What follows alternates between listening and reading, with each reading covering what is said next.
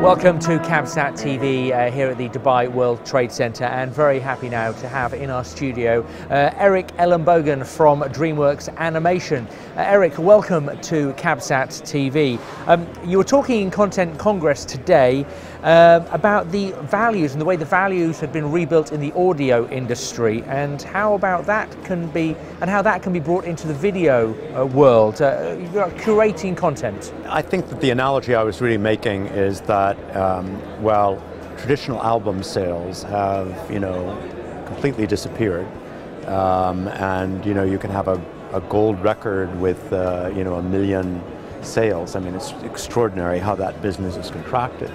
Um, you have these services that have gotten going, like Spotify and Pandora, and of course Apple Music, um, and they're about channels and curation and presenting audiences with a lot of choices and discovery. And I think that that is uh, as good an example as I can give for why TV channels remain extremely relevant. Because they are the platform, at least for us, in the way that audiences can engage with content and discover new things. Um, and I think that it has to be part of a puzzle of a lot of rights and the ability of the audience to get what they want, when they want it, where they want it. Um, but the channel is a really important piece. And Eric, looking at delivery methods in this region, um, are there any lessons that could be learned from the US model? Mm -hmm.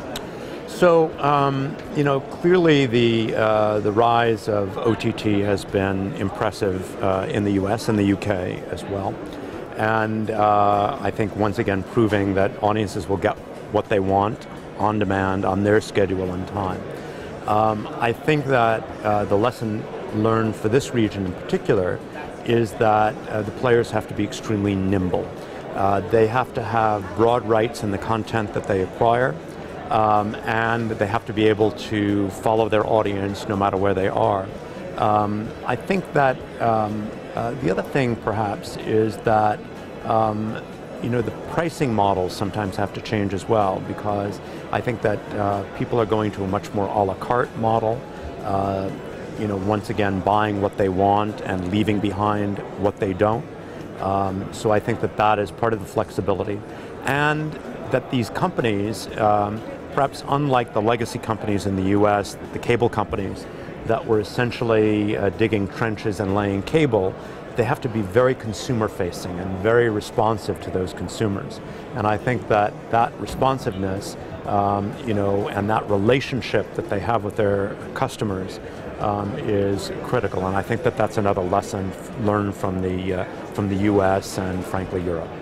Okay, Eric, thank you very much indeed. Thank you for your time thank and you. for your insight. Yeah, pleasure to be here and for the very latest on everything from the Content Congress that takes place over CabSat for this year, uh, get online to cabsat.com.